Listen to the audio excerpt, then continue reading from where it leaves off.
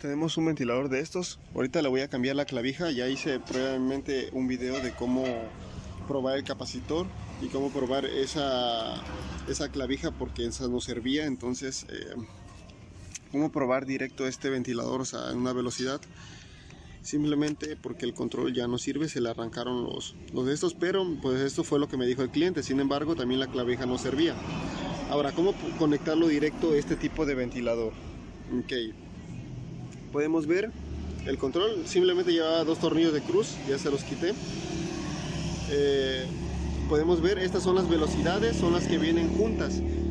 Las tres velocidades vienen juntas. Pero podemos ver que no trae ninguna de las dos líneas. O sea aquí en este tipo de ventilador que no trae nada aquí cómo vamos a saber cuáles son las líneas bueno podemos ver que ya salieron una línea que es gris una que es rosa y la otra es la que va a, las velocidades que estas dos son las de capacitor. Para conectar directo un ventilador de este tipo una clavija o sea una línea de la clavija va a ir al cable gris o sea a la parte gris del capacitor y la otra va a ir a una velocidad a la que ustedes elijan de estas tres. Entonces ya saben es súper mega fácil. En estos hay muchos que vienen exactamente igual, ustedes los van a reconocer porque los cables vienen todos chamuscados. En este tipo de ventiladores siempre tienen que checar este cableado porque es de los más corrientes que hay en ventiladores, entonces eh, siempre chequen eso. Y si entonces queremos conectarlo directo, ¿qué hacemos? de las dos líneas de la clavija, una va al gris y la otra va a una velocidad. O si le cambiamos el control, una va aquí y la otra pues va igual en el capacitor, en la parte, en el conector gris se podría decir, en este cable gris.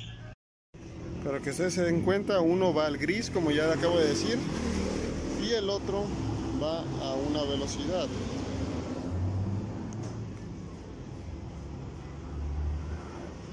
Como podemos ver aquí lo estamos conectando en primera velocidad. Segunda sería el amarillo aquí está, pero es que me cuesta un poco agarrarlo con una mano. Ahí está el amarillo, segunda velocidad, y el blanco que sería tercera velocidad. Ese sería el máximo. A ver, no dicen que lo agarre porque simplemente pueden arrancar el cable blanco si lo van a poner directo y conectarlo ahí, ¿saben? Uno al gris y uno a cualquiera de estos tres. O si lo van a reemplazar, pues en la parte que va, que va en la parte de allá. Ahí, ahí pueden ver, ahí va, en esa parte de ahí va. Ahí donde se ve que estaba soldado, ahí va. ¿Alcanzan a ver? Ahí es donde va, eso significa que el control está bueno, simplemente porque estaba arrancado el control. Habría que volver a soldarlo o reemplazarlo. Que en su caso lo voy a reemplazar. Para cambiarlo es muy fácil, Ahí lleva un tornillo de cruz, ahí lleva otro, ahí lleva otro, ahí lleva otro. Este es el que le vamos a poner, aquel es el que está dañado. Ahorita vamos a quitar esos tornillos y les enseño. Una vez quitado, simplemente quitamos y ya está. ¿Cómo saber si sirve eh, la clavija o si pasa corriente o si el capacitor sirve? Simplemente ahí le damos un toque y ahí debió haber echado un chispazo, por lo cual no pasa corriente de la clavija. Aquí podemos ver el control original que trae el ventilador y aquí podemos ver el control que se le va a adaptar. Este sabemos que es línea, es el que viene separado de los otros tres que son las velocidades. Ok, aquí van a ver estas salidas. Primero lo primero, se fijan, este, este es el que va a la clavija. Entonces, de aquí salen dos. Este, que es una línea, como ya les comenté, va al control, que ya a su vez cuando le vayas cambiando se va moviendo a las velocidades que vas a poner. La otra, como podemos ver, es el azul que se conecta al cable negro. Entonces, esta línea es la que va al motor. Esta es la que va al motor, que en su vez sería esta. Este negro lo vamos a conectar a este cable gris que va hacia el motor del ventilador. Y las otras tres son las velocidades primera, segunda y tercera, como ya pueden ver aquí, al igual acá. Estas rojo, blanco y azul. y este azul, cuidado de no confundirlo. ¿Por qué? Este azul sube hacia allá en azul. Este es velocidad. Pero si ustedes pueden ver, aquí hay un cable azul, pero este es el que viene de línea, que se conecta al cable negro. Entonces, el negro que sale hacia el motor es línea y los otros son velocidades. Este azul es el azul que está conectado al control. Entonces mucho ojo con esa diferencia. Por eso les digo que estudien la teoría para que no se confundan en este, en este tema. Así quedaría todo el desmadre conectado. Ok, primero los cables de la clavija. Este pues no tiene polaridad, entonces de cualquier lado que lo conecten está bien. Ahora nos vamos a centrar en los cables que salen del motor. Ya sabemos, un rosa va al capacitor, a una punta del capacitor. El otro que es el gris es el que va a la otra punta del capacitor y va conectado a, a la otra línea de la clavija. Una línea de la clavija va al gris. Entonces acuérdense que, que aquí se hace un revoltijo, pero al final sale la línea en negro, en color negro. Entonces la negro iría con el gris, que a su vez va al capacitor y va al motor. Entonces el negro aquí ya está descartado, ¿no? Ok, el azul podemos ver es prácticamente sale de aquí que si ustedes se dan cuenta este es el que está más cerca a la línea es la primera velocidad entonces sí que el, el, azul el que sale de aquí en azul es primera velocidad y en el otro control que tenemos acá es primera entonces eh, vamos a hablar de la segunda velocidad que acá sale en color blanco y en el otro era amarillo. Si podemos ver, el medio es el amarillo, entonces es la segunda velocidad. Y en, en este, la tercera es el blanco, que el blanco que sale de acá va conectado al rojo que va acá. Esto es en caso de que estemos adaptando otro control. Si, estamos si vamos a cambiar y vamos a reemplazar por el mismo control, pues no tiene nada que temer. Todos los cables van a venir del mismo color y no tendrían que hacer modificaciones como esta pero por eso les digo, presten atención en la teoría para que ustedes sepan hacer esto. Ahí ya nada más quedaría obviamente en bien uno por uno, pero para, así para que ustedes se den cuenta de la importancia que saberlo. Realmente no tiene ciencia, son tres velocidades, una línea y los dos de capacitor. Eso es todo. Simplemente que, que en este tipo de ventilador la línea va conectado al cable gris. Eso es todo. Ya, una línea al cable gris de uno del capacitor al gris y el otro va al, ¿cómo se llama? Al control y eso es todo y las otras tres velocidades. No es ciencia. Aquí podemos ver el control original que trae el ventilador y aquí podemos ver el control que se le va a adaptar. Este sabemos que es línea, es el que viene separado de los otros tres que son las velocidades. Ok, aquí van a ver estas salidas. Primero lo primero, se fijan, este, este es el que va a la clavija. Entonces de aquí salen dos. Este, que es una línea, como ya les comenté, va al control, que ya a su vez cuando le vayas cambiando se va moviendo a las velocidades que vas a poner. La otra, como podemos ver, es el azul que se conecta al cable negro. Entonces, esta línea es la que va al motor. Esta es la que va al motor, que en su vez sería esta este negro lo vamos a conectar a este cable gris que va hacia el motor de, del ventilador. Y las otras tres son las velocidades.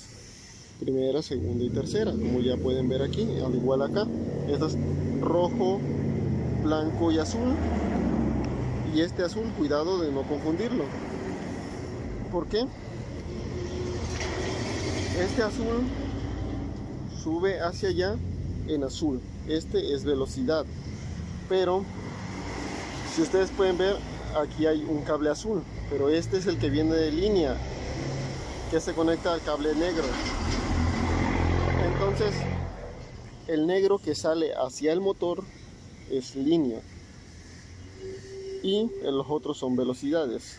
Este azul es el azul que está conectado al control. Entonces mucho ojo con esa diferencia. Por eso les digo que estudien la teoría para que no se confundan en este, en este tema. así quedaría todo el desmadre conectado. Ok, primero los cables de la clavija. Este pues no tiene polaridad, entonces de cualquier lado que lo conecten está bien. Ahora nos vamos a centrar en los cables que salen del motor. Ya sabemos, un rosa va al capacitor, a una punta del capacitor. El otro que es el gris es el que va a la otra punta del capacitor y va conectado a, a la otra línea de la clavija. Una línea de la clavija va al gris. Entonces, acuérdense que, que aquí se hace un revoltijo, pero al final sale la línea en negro, en color negro. Entonces, la negro iría con el gris, que a su vez va al capacitor y va al motor. Entonces, el negro aquí ya está descartado, ¿no? Ok, el azul, podemos ver, es prácticamente sale de aquí. Que si ustedes se dan cuenta, este es el que está más cerca a la línea, es la primera velocidad. Entonces sí que el, el, azul, el que sale de aquí en azul, es primera velocidad. Y en el otro control que tenemos acá es primera. Entonces eh, vamos a hablar de la segunda velocidad que acá sale en color blanco. Y en el otro era amarillo. Si podemos ver, el medio es el amarillo, entonces es la segunda velocidad. Y en, en este, la tercera es el blanco, que el blanco que sale de acá va conectado al rojo que va acá. Esto es en caso de que estemos adaptando otro control. Si, estamos a, si vamos a cambiar y vamos a reemplazar por el mismo control, pues no tiene nada que temer. Todos los cables van a venir del mismo color y no tendrían que hacer modificaciones como esta. Pero por eso les digo, presten atención en la teoría para que ustedes sepan hacer esto.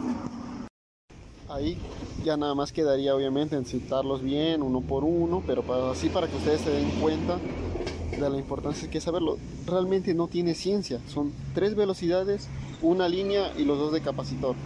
Eso es todo. Simplemente que, que en este tipo de ventilador la línea va conectado al cable gris. Eso es todo.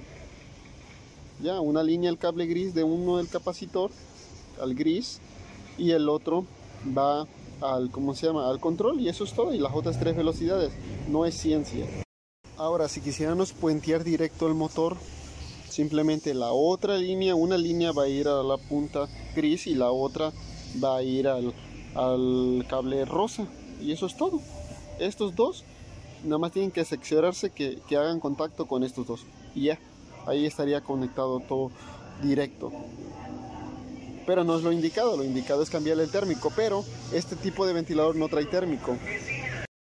Disculpen el ruido, pero pues es que estoy afuera y hay mucho, mucho ruido. Entonces, este tipo de, de motores no trae térmico. Entonces, no habría que cambiarlo, simplemente habría que puentearlo directo. Para que vean, así con todo el desmadre, así conectado, así lo tengo encendido ahorita.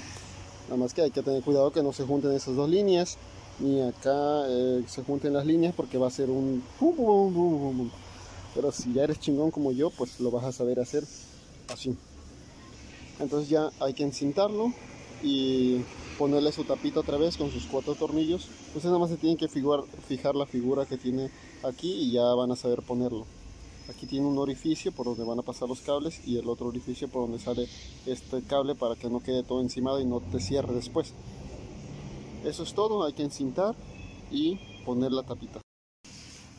Aquí le tuve que hacer una doble enredadera porque van a decir, oye, ¿por qué lo dejaste así de grueso? Es que el cliente me lo pidió que se lo dejara reforzado por si lo jalaban, porque dice que lo jalan mucho, entonces que siempre sus hijos lo jalan.